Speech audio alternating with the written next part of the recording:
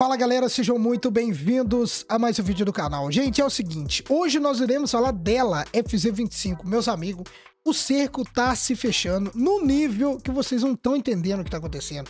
Quem acompanha o canal e quem acompanha as tendências de mercado já sabe muito bem do que exatamente o que eu vou falar tudo o que viemos sempre, tudo que viemos sempre falar na internet, né? Que a, a, toda essa, essa dinâmica de mercado causaria um estrago não a curto prazo, mas ao longo prazo. Eu sempre fui meio que na contramão de tudo que era dito, né? Eu falava, ó, oh, gente, se continuar desse jeito, a tendência é que a reversão aconteça antes do que a gente imagina. Vocês lembram quando teve esse aumento da Yamaha, né? Que eu acho que foi mais de mil e poucos reais na FZ25. Eu falei para vocês, ó, a FZ25 tava vindo muito bem, tava emplacando legal, mas ela pode ter uma correção agora, pode ter uma queda, pode ter algumas é, complicações, principalmente na questão de emplacamentos. Aí do nada, Bajaj vem e dominar 250.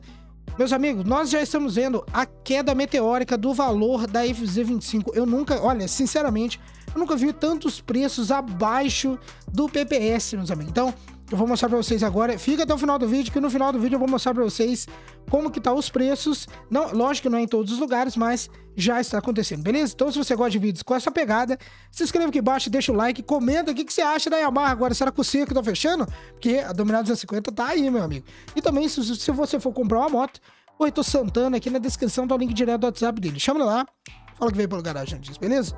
Então bora. Pois bem, meus amigos, cá estamos nós no site Carblog. Você sabe que eu uso muito esse site porque, para mim, eu acho que é um dos melhores sites quando o assunto é análise de emplacamentos e tendência, porque aqui já tem toda a porcentagem e a gente já consegue ver mais com olhos, com olhares mais críticos, né? E aqui já está muito bem como que tá o panorama de emplacamentos aqui no Brasil.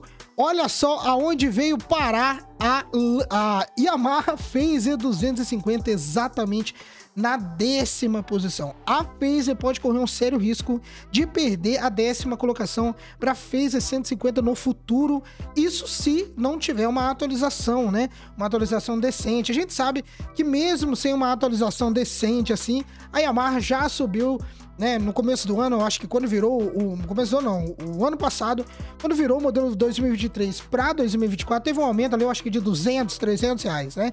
E agora, um pouco antes da atualização, porque o Promote M5 tá aí, dezembrão, né, Yamaha? Né, Yamaha? Então, mesmo assim, antes né, do, do vencimento do Promote, a Yamaha subiu mais de mil e tralalá no preço de PPS. Porém, meus amigos, nós já estamos vendo uma possível é, uma possível assim correção na ascensão da FZ25. A gente já sabia que ela emplacava legal, sempre esteve na bota da CB300, mas a CB300 ela ainda está na sexta posição absoluta com 3.597 unidades, com 11,4% de crescimento.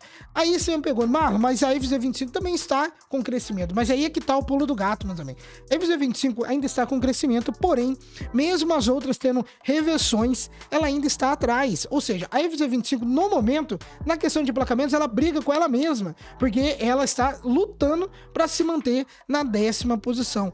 Muito por conta, por decorrência também, pode ser por causa disso daqui que eu já fiz vídeo para vocês falando a respeito, o novo PPS da empresa, tá? O PPS agora que veio em cima da FZ25 com esses mais de mil reais de aumento da última vez, foi ali muito esquisito, né? Teve aquele suposto vazamento. Olha só pra você ver o time que foi a parada, né? Colocaram umas motos pra andar na rua, né? Aí a galera tirou foto, já saiu todo aquele estardalhaço na internet e ninguém percebeu isso daqui, ó. Ó, tudo parece que foi até, eu não tô falando que foi, mas parece que foi uma cortina de fumaça muito bem elaborada, tá? E isso tá se refletindo como? Nas lojas, meus amigos. Exatamente. As lojas já estão é, colocando aquela política de preço mais baixa, porque sabe que isso vai acontecer.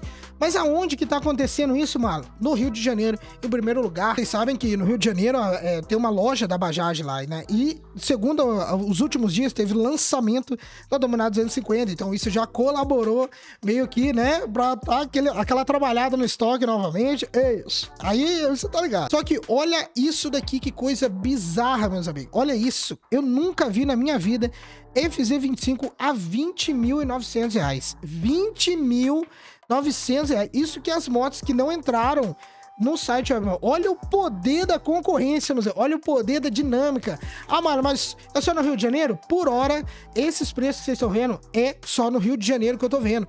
Mas no futuro tende a acontecer. É isso, por isso que eu trago vídeos de especulações, tendência de mercado, mostro o número para vocês, mostro tudo que tá acontecendo temas que não são todos os canais que abordam. Então, aqui no Garagem Notícias tem essa peculiaridade. A gente aborda esse tipo de tema que não são todos os canais que abordam. A maioria dos canais fala só de moto, é, vê ali a potência tudo mais. É muito interessante, mas Pra gente mudar a mentalidade da galera, a gente tem que mostrar a tendência de mercado, o número de emplacamento, o preço, o aumento que teve no preço, cortinas de fumaça, como foi esse print que vazou da suposta Lander, suposta Crosser. Nisso, que tava todo mundo comentando sobre o print, o valor subiu do nada. Então, é complicado. Mas, voltando a falar um pouco das lojas, olha só como que as lojas estão ralando para vender a FZ. Ralando não, né? Vamos ser aqui é, leviano também, né? A moto se vende sozinha, é uma moto muito boa. Mas agora, com a concorrência chegando, o cerco tá apertando para cima das binárias, principalmente onde tem concorrência, meus. Onde tem concorrência. Olha isso daqui, R$ 20.900. Olha o PPS. 22.990. Nós estamos vendo FZ25 2024 a 2.000 reais abaixo do PPS. Isso pode indicar uma queima no estoque? Também pode indicar sim. Pode indicar um, um possível pisada no freio para nova linha? Pode significar também. A gente pode fazer mais vídeos falando a respeito disso, sobre a nova linha. Se vocês quiserem um vídeo, né, falando a respeito do que a nova linha da FZ25 pode impactar o mercado.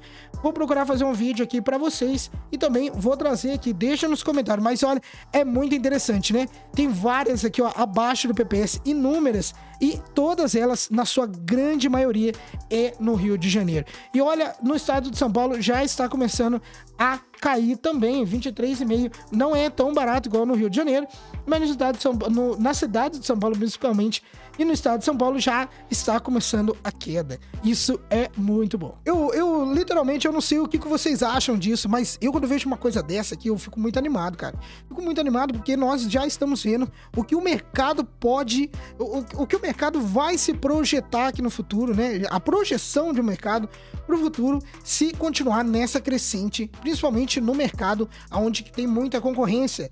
Quando eu trago vídeo falando de grandes centros onde a concorrência já está eminente, isso aqui já é um prelúdio do que vai acontecer no futuro, principalmente nas extremidades, aonde chegar mais concorrência. Hoje temos uma crescente absurda da Shinerai, Royal Enfield, por mais que a Royal esteja ainda caminhando de uma forma um pouco diferente, mas está crescendo Royal Enfield, Shinerai e Hauju também, que do mês passado para cá teve um crescimento insano.